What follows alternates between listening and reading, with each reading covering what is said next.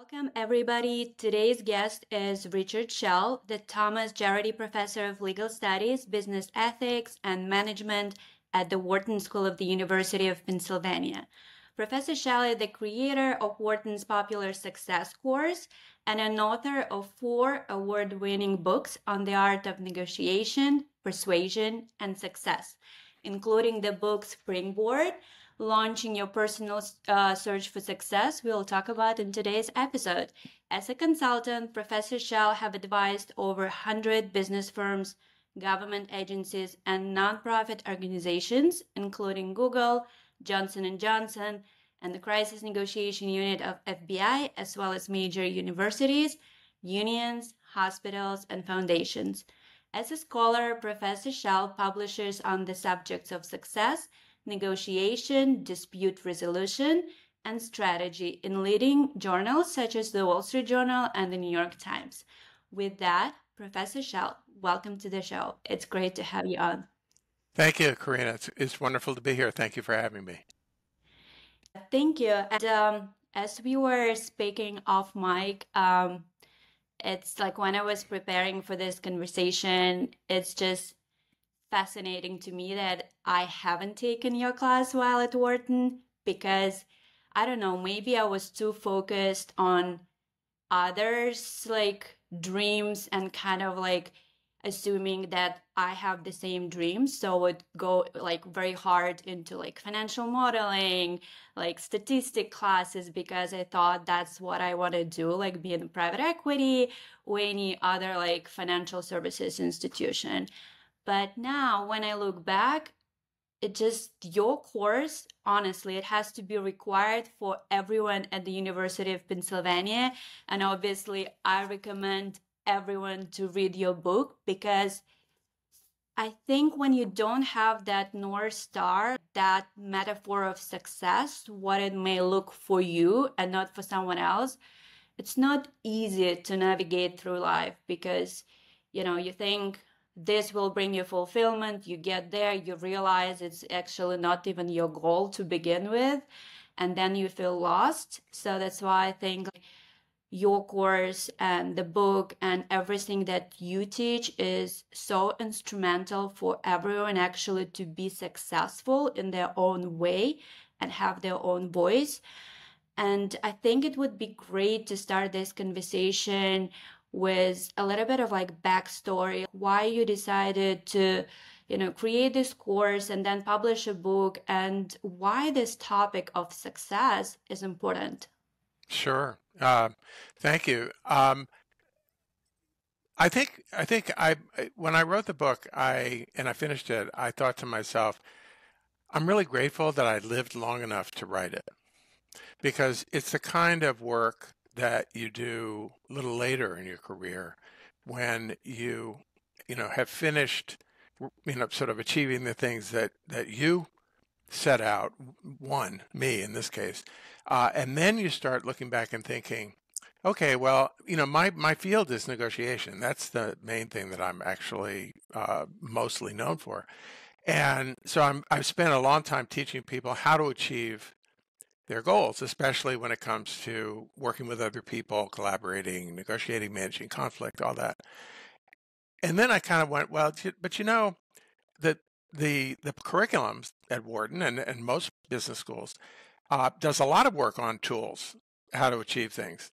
Very little work on what goals are worth achieving. And at this point in my career, it was about 15 years ago, I thought, well, I've got something that I might be able to do to help with that. Um, and most I mean, success books are almost a cliche. Uh, you know, they're they're filled with first person stories. You know, I overcame great hardship. I went to the moon. I, you know, founded a company. I I I created Air Jordans, whatever it is. And so look at me. And um, m- my view of it was uh, much more. No, actually, what's important is to to help people look at themselves. And um, and so that this book, and then of course on the other side of of just egotism, which is what most How to Succeed books you know surf on, there's self indulgence, where you know you you tearfully confess all of your conflicts and your vulnerabilities and uh, and then you know that's very gratifying for the writer or the speaker. And sometimes people relate to that because if the speaker is famous or something they go oh this person has uncertainties too.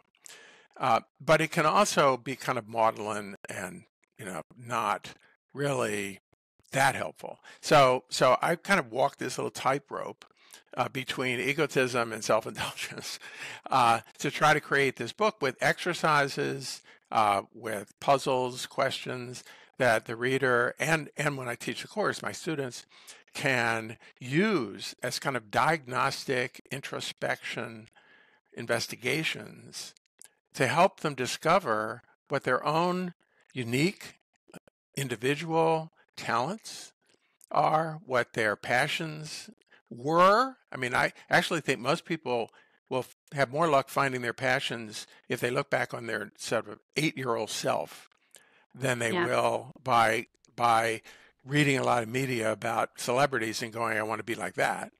Mm-hmm. Uh, so I help people look back in order to go forward. Uh, and uh, so the, the motivation was really um, a kind of um, trying to be helpful uh, with uh, without imposing myself too much on the helpfulness. Uh, and and you know I've I've I've had it, actually, since you, uh, while you were at Wharton, but uh, you may have missed this, but just recently we achieved a benchmark. So in the MBA division, we have a program now called P3, uh, Principles, yeah, Pur- Principles, Purpose, and Passions. And it's run through our McNulty Leadership uh, office now, but it was started by students. And over half the class now is involved in this. It's a voluntary uh, six week program, uh, three hours a week. We put together groups of six or seven MBA students at random. They all they mm-hmm. all sign up, and then they read bits and pieces of Springboard, do the exercises, and then talk to each other about their lives, their families, the pressures they're feeling, the goals that they're not uh, as certain about now as they might have been before. Mm-hmm. Uh, and it's a chance, there's so many talented students at Wharton, but the opportunity for them to actually get past the surface of, of the program and the culture because everybody looks at everybody else in a high performance culture like Wharton and sure. they figure everybody else has figured this out. You know, I'm the only one that doesn't know.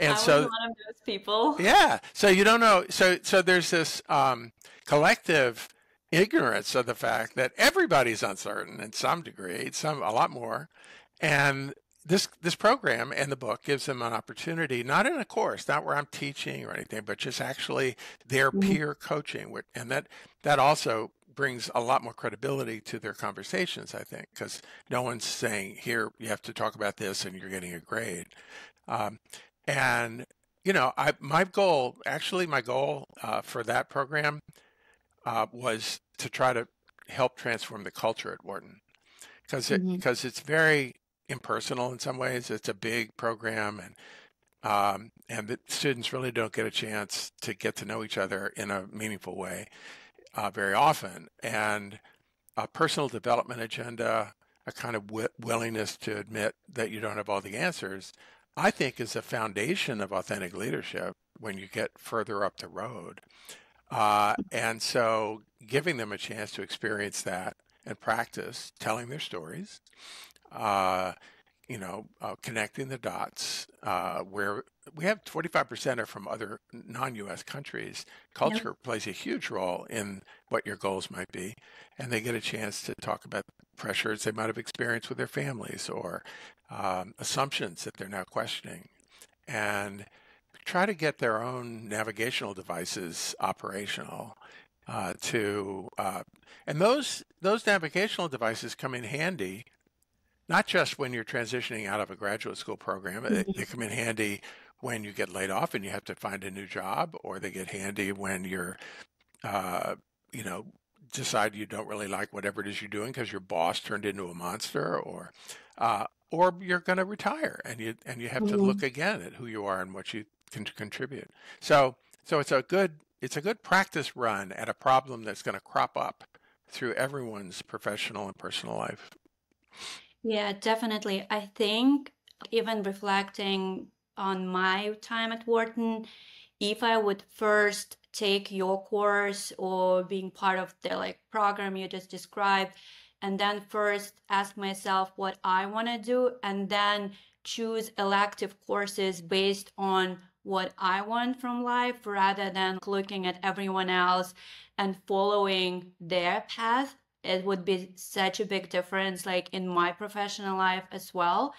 And it's interesting that you've mentioned about people being laid off or they just reevaluating their career choices. Like now is definitely not an easy environment in terms of the market in general. And I know a lot of people who were laid off from work. And it's really difficult. But also, I find that when you go through challenges like this, you have this opportunity to pause and question, like, okay, is it actually a career that you want to pursue and reflect on your own ideas of success but it's extremely painful for sure Oh, it's it's very, it's very you know high performance people, it's you know especially in their say between the ages of 21 and 45 or so, sort of between college and marriage and children. You know, uh, they have been achieving other people's goals for their whole lives. Uh, they were high performing students. Uh, well, they weren't intrinsically interested in necessarily in acing uh, standardized tests, but they were drilled in how to make uh, you know time tests work so that they came out at the top, and they get used to basically being rewarded for things they're good at, and they never ask the question, "Do I like what I'm doing? Is there is there some energy I'm getting from this as opposed to energy mm-hmm. I'm spending on it?"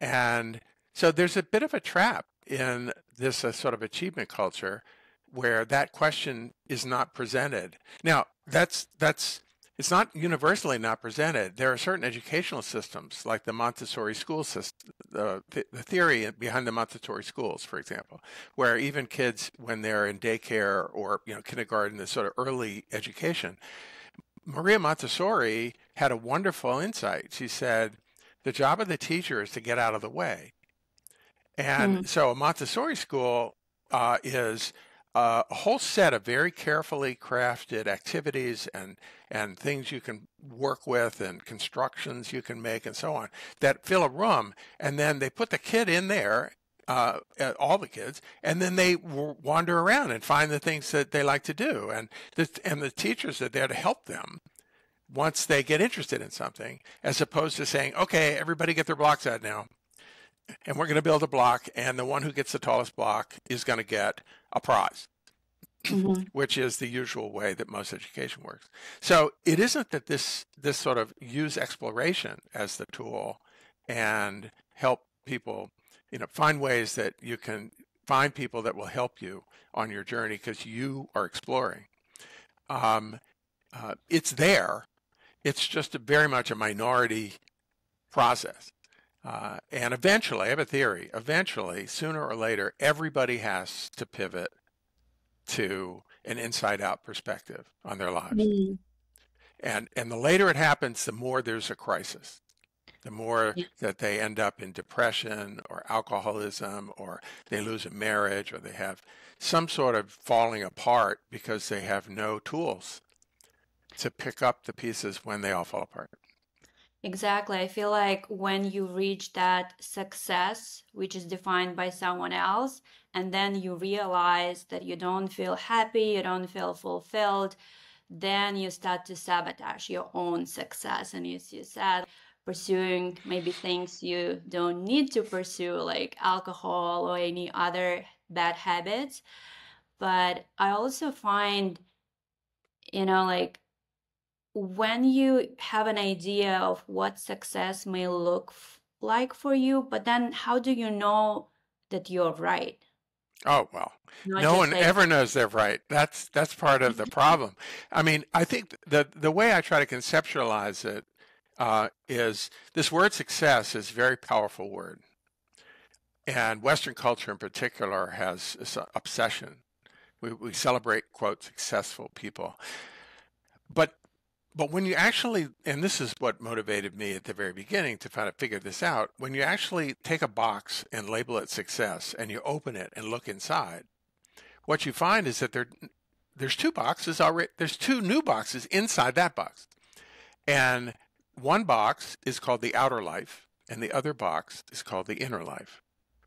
And and so you have to open two more boxes before you can really make any progress on this. And most most people associate the word success only with the outer box. Mm-hmm. Uh, and and it's it's uh, having a hundred thousand Instagram followers, or it's being written up for some recognition, or it's you know being famous in some way, and uh, and and and getting an award for something or whatever. All that's fine. I don't disrespect it at all. I'm a Wharton professor. I love being a Wharton professor. I'm mm-hmm. talking to you because I'm a Wharton professor. But the um, but the but the outer box is only one of the boxes. So, th- so when you have an obsession with the outer box and you don't open the inner box, that's when you end up in a bad place internally because mm-hmm. you've looked, you're, you've been pursuing recognition, but you've forgotten about respect. Now, yeah. recognition is a lot of people knowing a little bit about you, most of which may be false. And respect is a few people knowing a lot about you, most of which is mm. true. And so, so the inner box is all about that stuff. And so you need to open that one too and look inside and go, well, um, career is an outer box, but meaningful work is the inner box. Mm-hmm. And and so part of the job I think everyone has is to realize they've got to open both boxes.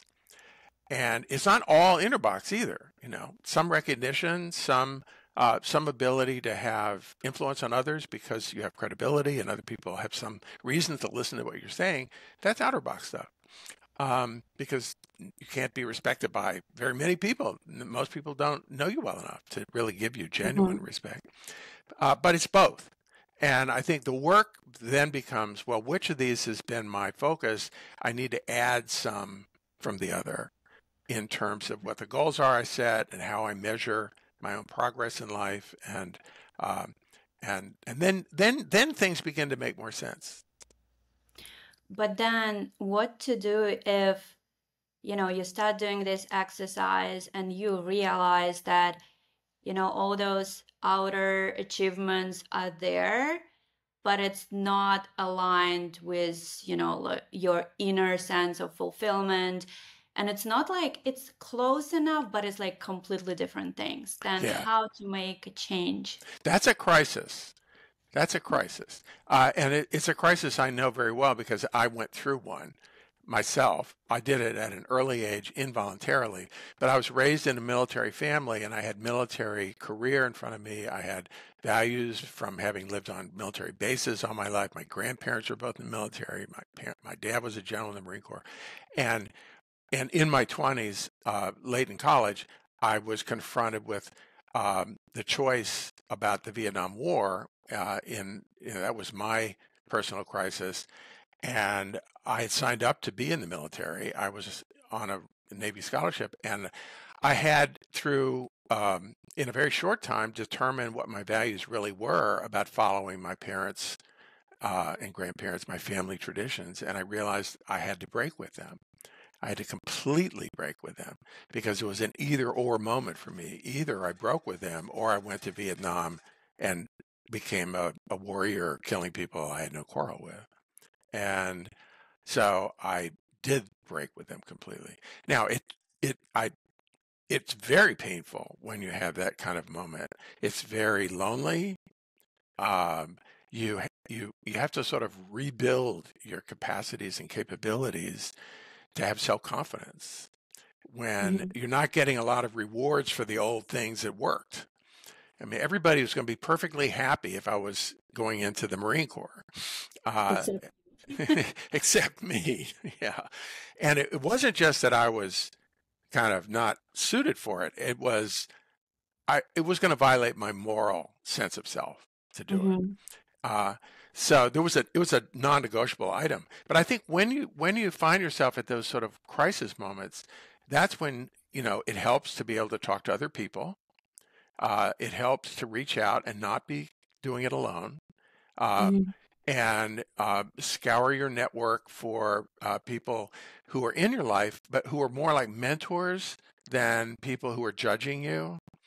Uh, and and consult with them um, and regain your sense of of, of self efficacy. You know, I'm pretty good at writing, or I'm pretty good mm-hmm. at uh, uh, working with clients, or I'm pretty good at uh, you know being uh, able to manage chaos, or whatever the thing is that you actually are pretty good at. That maybe the other career would have asked you to do, but now you can pivot the direction and the purpose and the implementation of it with a kind of sense of I'm I'm I'm I'm good enough at this so that I think I have a reasonable chance of contributing. And then it's you know you have to start at the bottom again somewhere. Mm-hmm. Not not a happy place. But I didn't start as a professor at Wharton until I was 37. That was my first day as a junior beginning professor was when I was 37. And you know, everybody who's at Wharton on the faculty, at, by the time they're 37, they're an associate professor. You know, they've they've they've gotten mm-hmm. their PhDs, they're promoted, they're you know, I was just beginning. So it's never too late to be doing the right thing. Mm-hmm. And I've talked to um, and worked with a lot of adults, uh, executives who are pivoting, students. I mean, I have one one one student who um, was in healthcare in the healthcare program at Wharton, and she was destined for consulting uh, in healthcare. It's pretty, uh, you know, great business to be in. And but she realized through the coursework that we did that actually what moved her was healing. That's mm. why she was interested in healthcare, and and she realized that it, for her it was tactile. She really got this feeling of being fulfilled when she was able to touch the people she was helping. Wow. So she actually went into consulting. I got a letter from her a couple years later saying, you know, I figured out I want to be a nurse. Will you write a letter of recommendation for me to go to nursing school? And I said, of course. She'd written her final paper on success talking about this. I knew exactly why she was getting there. And so she she went back to school, redid two years of an undergraduate degree, and an extra year of a master's degree in nursing. And and she's now an emergency room nurse in New York City. Uh, and she's of course a pretty bright person and a Wharton degree to boot. So, you know, I'm pretty sure before it's all over for her, she's going to end up running a hospital or a health system. Mm-hmm. Uh, but she'll be doing it with a lot more context and a lot more knowledge and a lot more passion than she would have had she done that same route, gotten to the same outcome, and just done consulting. Wow, that's a very inspiring story because you know the person who already has so many years of education and then like taking a step back which is not actually a step back but you're just like kind of removing yourself reevaluating and committing again like for another several years of education but pursuing your passion it's really inspiring because like i have conversation with my classmates and let's say they do consulting or something else and they want to do completely different things and then the question is like well i already have all those degrees then it's gonna like for the work that i want to pursue you don't even need to have those degrees so, like, is it a waste of time for me? Like, it's kind of like because you already have the past and you feel like it doesn't make sense to do something you could have done before accumulating those degrees. you, you tell yourself it's too late. So, you know, you went to business school. Do you remember sure. the concept of sunk costs? Oh, yeah. So sunk cost is is making bad business decisions because you've already made bad business decisions. Mm-hmm. uh, and so you're unwilling to abandon the plant that is no longer producing anything that makes any money because you spent a lot of money on it. Uh, yeah. And and same thing for for your life. Uh, if you spend all your time justifying your past by continuing to do something that gives you no joy or satisfaction, uh, you know, what, what's going to happen someday when you're like lying in bed and you're wondering, what was that about? Uh, it's never too late, never, never too late uh, to uh, reinvest in yourself. Uh, mm-hmm. It doesn't mean you have to get a degree. I mean, that's that's that sometimes professions require those degrees. I, I went when I went to law school you know, before I came to Wharton, that was sort of uh, my professional path. Was I didn't really want to be a lawyer, but I needed a job, and I was good with words, so I followed my talents into law school. But I was in law school with a 45 year old guy who was a former regulator at the Federal Communications Commission and he just had a regular undergrad degree, but he decided, you know, he'd worked with enough lawyers that he really liked what they did. And he was excited by the prospect at 42 of going back to graduate school. He mm. had a family. I mean, it wasn't easy. Uh, and getting a law degree so that he could, you know, play a different role and in his mind, a more interesting one and a more mm-hmm. uh, sort of important one in this field that he was already in. And so he just stepped back and reinvested it himself and went on to be a really uh, important guy in communications law. So uh, it's never too late. It takes some it takes some sacrifice. Uh, have, it helps to have a foundation of financial security somewhere that you can rely on somewhere. Um, I've got in my course that I'm teaching right now at Wharton on responsibility in business. It's a I'm finishing up the class uh, today. I've got a former Navy SEAL uh, I've got a former Marine intelligence officer. Um, these are people who are completely changing their lives. Um, you know, they went. One went to the Naval Academy. Um, you know, these are people who the military was their career, and then they decided, okay, I'm really not.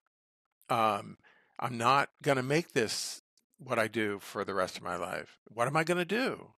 And so they're reinvesting in themselves and pivoting to a whole new, it takes a lot of courage. They have children, they have families. One commutes from Virginia Beach, the SEAL does.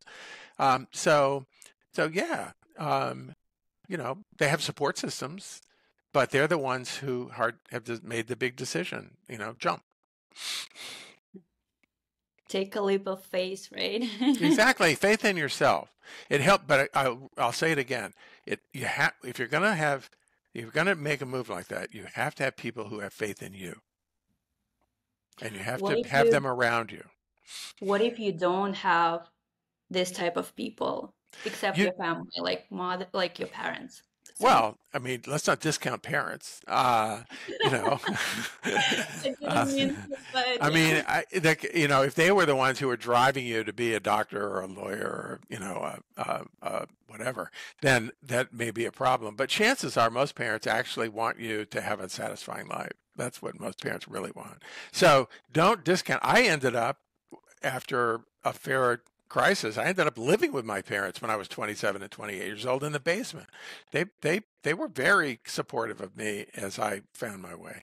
Uh, but but I think it. I one of my exercises in the class is go back, think of a coach uh, in sports, a mentor, uh, an elementary school teacher, um, someone who inspired you along the mm-hmm. way, and who who who sparked your interest in whatever it was at the time, um, go back and reach out to them and say, you know, I'm at an interesting place in my life. I you were a very important part of my life. Uh, you may not have known it, but you were, and here's why.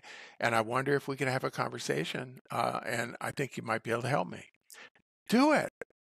Mm-hmm. Uh, that I would say two kinds of conversations: the look back ones, and you find there are a lot more supporters back there than you probably realize. Mm-hmm. And then the look forward ones. And that is when you're pivoting, sit down, imagine the perfect work, whatever it is, the perfect combination of things, and you go, wow, if I could be doing that, now that would be, you know, that would be pretty cool. And and what you need to do is find some people who are already doing it and call them and say, Could I have 15 minutes of your time just to find out how mm-hmm. you got there? So look back, talk to people, look forward, find people, talk to people. People love to talk about themselves. Oh, yeah, that's true. Do you have a favorite metaphor for success?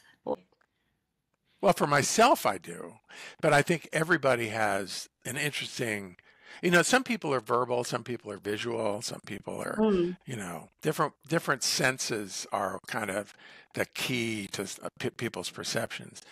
And so I like to think for some people, a definition of success is what they need.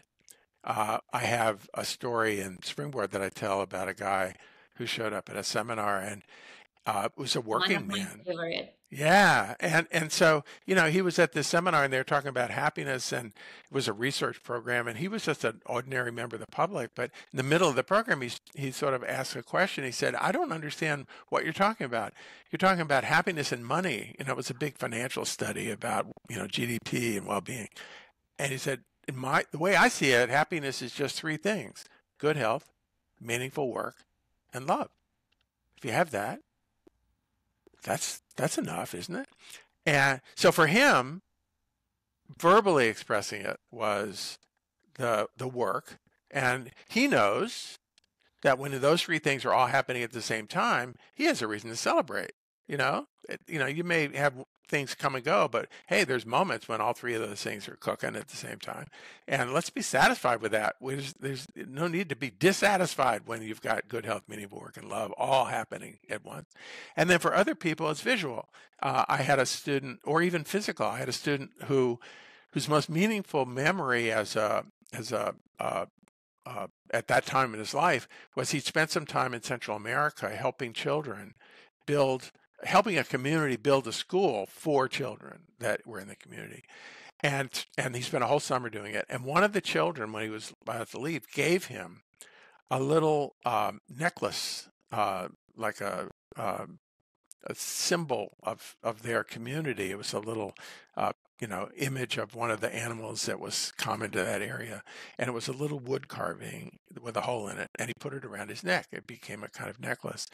He always wore it for you know he was still wearing it when I met him because he said it helps him remember the direction he needs his life to go in. Mm-hmm. Uh, so that's a physical manifestation, and then an image for myself. I I scoured the internet. Google Images is very handy this way because you can just surf and try to find something that resonates with your values.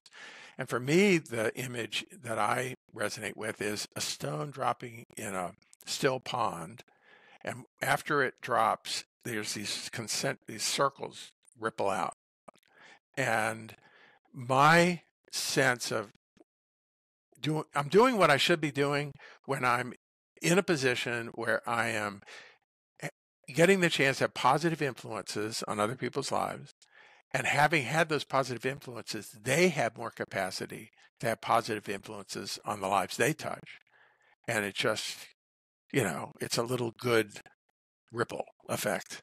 Uh, so that's not the only time that I'm happy, but I feel like my success values are embodied in mm-hmm. activities that uh, result in that happening. So I'm teaching this afternoon. I'm going to be feeling good. I'm talking to you this morning. I'm feeling very good. Uh, and I, you know, I'm doing what I know I should be doing. Oh, that's beautiful. I know that we are running out of time, uh, but to close this conversation, I think uh, the last question that I have is Do you have a piece of advice for the audience or like something you would like to share with them? Like maybe some exercises to reflect on uh, uh, on their own journey or just in general some advice for people who are trying to figure out what success means for them? Sure. Uh, well that's a big that's a big question. Uh, i i can i the one simple resource i on my own personal website grichardshell.com I have the exercise that's in chapter one of Springboard. It's called the Six Lives exercise and it's free. You can just click on it. You don't have to buy anything. Um, and that's a pretty good starter kit for kind of beginning to surface what some of your success values are. Because each of the lives I profile, there's six, and I ask you to put them in order from most successful to least. And they mm-hmm. all have some inner life and outer life stuff going on. And so it helps you sort of figure out where the balance is for you and what the inner life part is and what the outer life part and the scale of it might need to be. So that's one thing people can do to kind of get the conversation started. I would say do that exercise and then get five friends to do that exercise and then have um, uh, a meeting in a in someone's apartment and talk about it. Brilliant. Talk about talk about what your top life was. Everybody's going to have different choices. It'll mm-hmm. give you a chance to begin the process of articulating who you are, why uh, your values are what they are, and maybe finding the areas where the next move would be a positive move in a good direction for you. So that that's a you know I I I, I like to say the most important thing is take action. Mm-hmm. And uh, because it's like in hockey, ice hockey, no one scores unless they shoot at the goal. Uh, and sure. when you're shooting at the goal, you may not hit the goal, but good things happen when you're shooting at the goal.